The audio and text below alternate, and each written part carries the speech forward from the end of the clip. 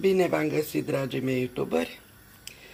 Uh, după cum v-am uh, obișnuit, zilnic postez câte ceva de odinioară, mâncare foarte sănătoasă, nu foarte scumpă și foarte gustoasă.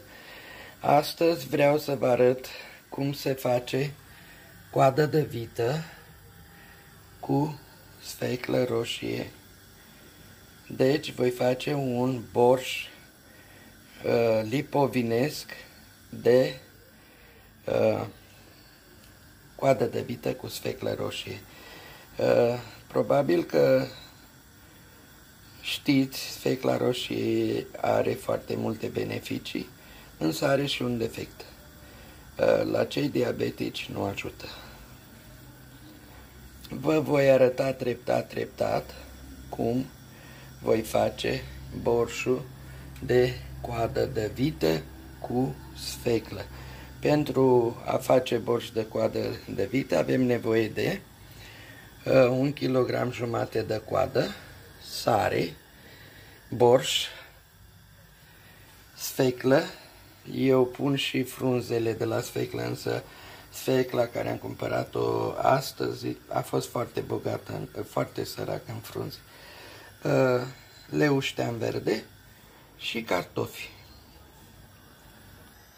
Așadar, am pus carnea la fier, după care arunc prima apă și pe urmă vin din nou cu coada de vită la fiert.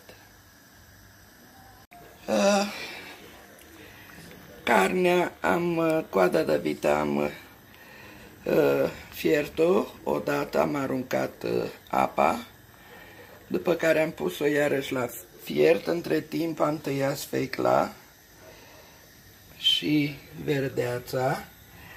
Uh, voi adăuga sfecla acum, pentru că și sfecla necesită timp de fierbere. Am uh, fiert aproximativ două ore la sfeclă și coada de vacă.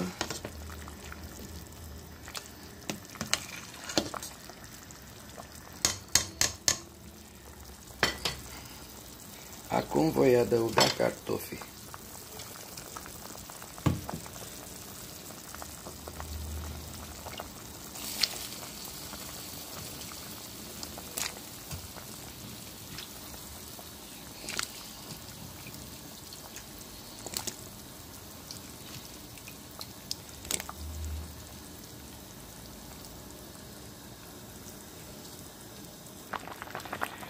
Uh, au fiert și cartofii. Cartofii am pus uh, după ce a fiert uh, coada de vită și sfecla. Voi adăuga borșul.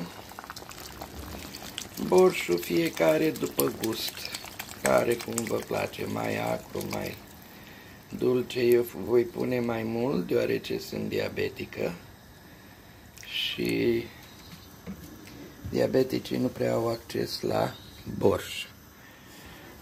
Vom condimenta cu sare, după gust. Lăsăm fie, borșul să fiarbă și între timp aș vrea să vă spun două, trei cuvinte despre sfeclă. După cum mulți știți, sfecla este anticancerigenă. Uh, ajută foarte mult vasele sanguine, inima, uh, ajută foarte mult la slăbit și sute de alte beneficii care îmi trebuie foarte mult timp ca să vi le enumăr. Însă puteți găsi uh, în uh, pagina mea, în linkul meu de YouTube, uh,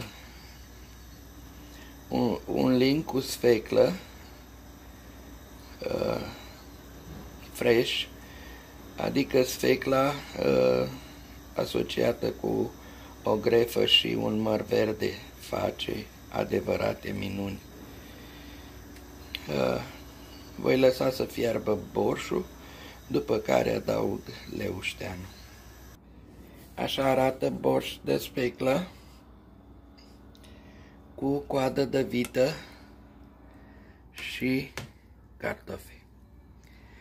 Aveți nevoie doar de 5 ingrediente. Sare, sfeclă, carne, coadă de vită și cartofi, inclusiv borș. Vă doresc multă sănătate. Dacă v-am fost de folos, dați-mi un subscribe sau abonați-vă la canalul meu.